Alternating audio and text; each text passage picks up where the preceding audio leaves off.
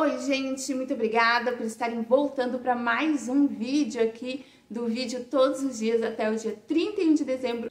No vídeo de hoje eu vou ter um bate-papo sincero, vou ser franca, abrir meu coração sobre parar de tonalizar o cabelo.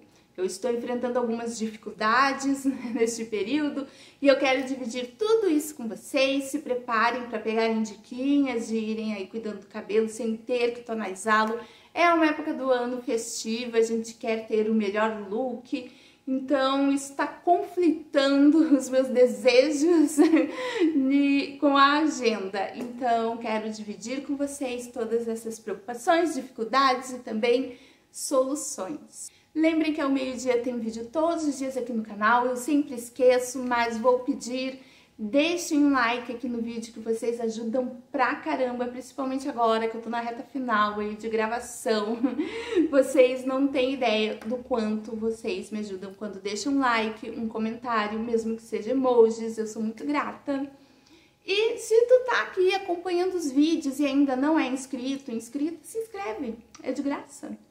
Bom, eu acabei de gravar a resenha deste produtinho aqui, este foi o resultado e eu comentei que eu parei de tonalizar o meu cabelo e eu já imagino que talvez isso desperte algumas curiosidades e caso você, quem não está me acompanhando há muito mais tempo vai ficar perdido, é, por que parar de tonalizar o cabelo?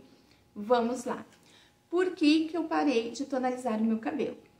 Porque eu pretendo sair do ruivo e ir para o loiro contextualizando para quem está chegando agora, que esse é o primeiro vídeo meu que assiste, eu fui loira, né, de farmácia, por muito tempo da minha vida. Eu só pintava o cabelo de loiro, às vezes eu fazia uns cabelos bicolor, cor fantasia, mas sempre predominando o loiro. Eu sempre gostei desta cor esta é uma cor assim muito apreciada na minha família também.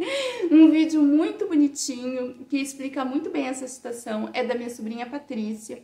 E eu vou deixar linkado aqui no card e também na tela final, se vocês tiverem curiosidade.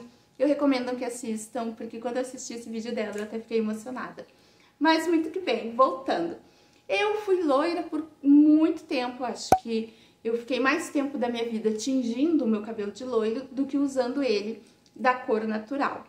E no ano passado, no mês do meu aniversário, em setembro, eu resolvi pintar o meu cabelo de ruivo. Na verdade, eu já tinha uma vontadinha e uma curiosidade de me ver ruiva há bem mais tempo, mas faltava coragem, uma vez que a gente sabe que depois que a gente põe o ruivo, tinturas com pigmentação vermelha, no cabelo é muito difícil de tirar.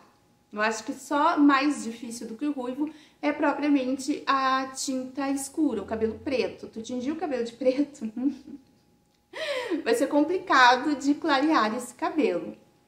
Então, por esse receio, eu demorei tanto para testar o ruivo. Acontece que eu vim pro ruivo e me encontrei. Eu amei essa cor. Gente, eu tô olhando agora no monitor da câmera e eu tô achando esse cabelo babadeiro, esse cabelo show de bola, esse cabelo pronto para uma festa de ano novo, sabe? Tô achando muito bonito, tô achando a cor bonita, brilhoso, ele tem um aspecto saudável e eu tô gostando bastante. Mas a vontadinha do loiro tá aqui me pegando, eu quero voltar para o loiro, sinto muita saudade do meu cabelo loiro. Bom, se tu gostou dessa cor aqui, ficou minha nossa, que cor é essa? É o cabelo pintado com a 9644 da Beauty Color. Eu vou deixar o vídeo no card, que foi a última vez que eu pintei. E depois tonalizado, quando esse ruivo começou a desbotar, eu tonalizei com o Capivara da Camaleon Colors. E agora tá bem desbotado. É a tintura desbotada e a tonalização desbotada. Esse é o resultado tá bom? Voltando, eu quero voltar pro loiro, eu tô, tô no ciricutico, já tenho a tintura, mas eu não sei se eu vou precisar fazer descoloração, tudo indica que sim. Então, por isso, eu parei de tonalizar o meu cabelo. Porque eu quero que o meu cabelo esteja o máximo possível desbotado para facilitar essa transição de cores do ruivo pro loiro. Nunca fiz isso antes, afinal eu nunca fui ruiva antes. Eu já saí do preto, não era preto azulado, era apenas preto, pro loiro. Deu uma trabalheira, claro que teve que rolar tesourada, descoloração, um monte de coisa, mas eu consegui fazer essa transição. Eu acredito que agora será uma transição bem mais tranquila, bem mais fácil, mas ainda assim um pouco difícil, né? Não vai ser tranquilo. Uma vez que eu acho que já faz o quê? Vai completar um mês que eu tonalizei meu cabelo, então ele tá bem desbotado. E ainda assim a gente vê ruivo, a gente vê couro no cabelo. A gente vê uma certa distância do loiro. Mas então é por isso que eu parei de tonalizar meu cabelo. Por causa dessa vontade de sair do ruivo e ir para o loiro. Agora sim, quais são as dificuldades que eu estou enfrentando? A principal é que o meu cabelo, desde a época que eu era loira, ele tem a característica de que quando ele começa a desbotar, quando ele começa a perder pigmento, ele fica numa textura bem difícil. Ele fica espigado, com as pontas bem, sabe, vassourinhas, ele perde esse caimento aqui, ó, de cabelo saudável, ele fica mais nuvem. É bem complicado. E assim, eu faço a tonalização, no caso ruiva, e pronto, o cabelo se ajeita. Então é realmente a falta de pigmento que deixa o meu cabelo mais difícil. Quando era loira, eu não, não fazia tonalização, eu fazia, eu coloria de novo o cabelo, né? Eu retocava a raiz, puxava o loiro para o comprimento e pontas e pronto. O cabelo ficava jeitoso novamente. Por isso que eu tenho o costume de dizer que o meu cabelo é dependente químico. Por causa disso. E é o que eu tô passando agora. Eu é difícil meu cabelo ficar legal, é difícil eu conseguir um resultado bacana. Agora ele tá legal, né? Eu fiz esse tratamento que deu um resultado legal aqui, mas o que antes, quando o meu cabelo tá com a, com a tonalização em dia, um shampoo e um, e um condicionador já resolve e eu fico com um visual bacana, com cabelo bonito. Agora é preciso shampoo, condicionador, um tratamento de choque, uma umectação, sabe? Tá complicado. Não é tudo que dá certo, não é todo tratamento que eu faço que dá um resultado legal. Essas as dificuldades que eu estou enfrentando. E eu estou com um receio, eu estou com uma dúvida, então quem entende mais aí, quem passou por essa...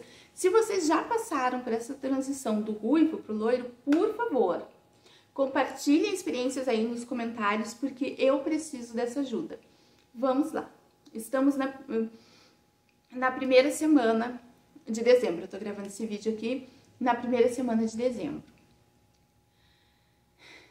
Eu estou sentindo que falta pouco tempo para o Natal e eu não sei se eu vou conseguir descolorir o meu cabelo e tingir de loiro a tempo do Natal e do Ano Novo.